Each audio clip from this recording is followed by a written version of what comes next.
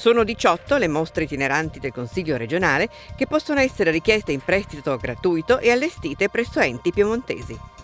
Nella sezione mostre del sito del Consiglio è consultabile e scaricabile il catalogo con le esposizioni disponibili, tra le quali Matite di guerra, satira e propaganda in Europa, Piazze del Piemonte, La donna immaginata all'immagine della donna, l'agroalimentare in Piemonte, sport e sportivi come non li avete mai visti.